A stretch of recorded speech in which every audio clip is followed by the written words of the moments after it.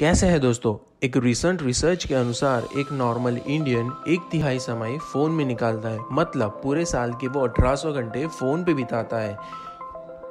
जिसमें online railway ticket booking से लेके फ़ूड ऑर्डर करने तक के 90 परसेंट काम स्मार्टफ़ोन से वेरी इजीली हो जाते हैं। और ये व्हाट्सएप फेसबुक इंस्टाग्राम जैसे सोशल मीडियाज एंड पी जैसे गेम्स वो तो रह ही गए। तो दोस्तों, आपने कभी सोचा है कि जो स्मार्टफ़ोन अपनी लाइफ का इंटीग्रल पार्ट अभिन्न अंग बन गया है और अपनी लाइफ को इतनी इजी बना देता है, उतना ही वो सामने अपनी बॉडी एंड ब्रेन को अफेक्ट करता है। तो मैं हूँ बस इफ़ेक्ट जो आज आपके साथ डिस्कस करेगा स्मार्टफ़ोन से होने वाली ब्रेन एंड बॉडी पे इफ़ेक्ट तो लेट्स एक्सप्लोर तो दोस्तों स्मार्टफ़ोन से सबसे ज़्यादा अपनी आँखों को नुकसान पहुँचता है। टोलेडो यूनिवर्सिटी ओहियो ने रिसर्च किया और पाया कि स्मार्टफ़ोन से जो ब्लू लाइट निकलता है, वो अपनी आँखों में पॉइजनस मॉलिक्यूल्स को ग्रो करता है, जिसकी वजह से मॉलिक्यूल डीजनरेशन होता है। दिन में घंटों तक अपन इंस्टाग्राम, फेसबुक, व्हाट्सएप को स्क्रॉल करते रहते हैं तो आपको पता है, उस टाइम पे आपकी आँखों में मॉलिक्यूल डीजनरेशन होता रहता है। आप अभी यही सोच रहे होंगे कि मॉलिक्यूल डीजनरेशन है क्या? मॉलिक्यूल डिजनरेशन एक ऐसी इफ़ेक्ट है जो अपनी रेटिना को नुकसान पहुंचाता है, जिसकी वजह से धीरे धीरे अपना विज़न देखने की क्षमता कम होती जाती है। ये ले जाती है मुझे दूसरे कारण की तरफ़। रात में सोने से पहले अपन फेसबुक इंस्टाग्राम व्हाट्सएप को चेक करने के बाद ही सो जाते हैं। जैसे कि मैंने बताया कि जो ब्लू लाइट रेटिना को नुकसान पहुंचाती है, उसके साथ साथ अपनी सर्काडियन साइकिल को भी डिस्टर्ब करती है। अब ये सरकारियन साइकिल है क्या? तो ये वही क्लॉक है, जिसकी वजह से टाइम टू टाइम नींद आती है टाइम टू टाइम भूख लगती है, जिसको हम बायोलॉजिकल क्लॉक बोलते हैं। तो अब आप सोच सकते हो कि अगर ये सरकारियन साइकिल ही डिस्टर्ब हो जाए तो अपनी बॉडी में क्या इफ़ेक्ट आएगी?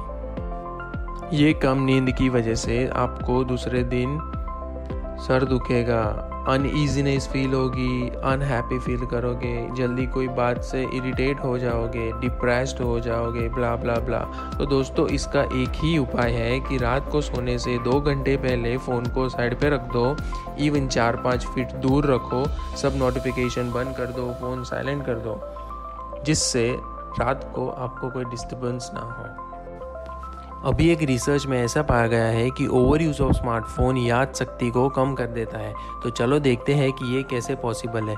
तो पहले ही मैंने बताया कि रात को फ़ोन यूज़ करने से सरकारियन साइकिल डिस्टर्ब हो जाती है। उससे स्लीप साइकिल डिस्टर्ब होती है, जिसकी वजह से हमारे दिमाग में मेलेटोनिन नाम का हार्मोन बनना कम हो जाता है। ये वही हार्मोन है जो आपको डीप स्लीप लेने में हेल्प करता है। ये डीप स्लीप, गहरी नींद अपने दिमाग को डिटॉक्सीफाई करती है क्लीन करती है, जिसकी वजह से अपने दिमाग में नई इन्फॉर्मेशन लेने की जगह बनती है और ओल्ड इन्फॉर्मेशन को वैनिश करती है। London university institute of psychiatry ने एक रिसर्च में ऐसा पाया है कि डीप स्लीप की वजह से आपका ब्रेन पावर मेमोरी पावर तो बढ़ता ही है, उसके साथ साथ आपका आईक्यू भी बढ़ता है। तो अगर आपको याद शक्ति बढ़ानी है तो आपने बहुत बार सुना होगा कि फ़िज़िकल एक्सरसाइज करने से इंटेलिजेंसी बढ़ती है। वो ऐसे कि फ़िज़िकल एक्सरसाइज से अपने शरीर में ब्लड सर्कुलेशन बढ़ता है, जिसकी वजह से दिमाग में भी ब्लड सर्कुलेशन बढ़ता है। ये ब्लड सर्कुलेशन की वजह से अपने दिमाग में न्यूरॉन्स बढ़ते हैं। ये वही न्यूरॉन्स है जो अपने ब्रेन पावर को ज़्यादा बढ़ाता है। सो so, दोस्तों फ़ोन को साइड में रखो और एक्सरसाइज करो खेलो कूदो। तो चलो मैं तो चला एक्सरसाइज करने। तो अगर आपको ये वीडियो अच्छा लगा हो तो please like this video and don't forget to subscribe my channel.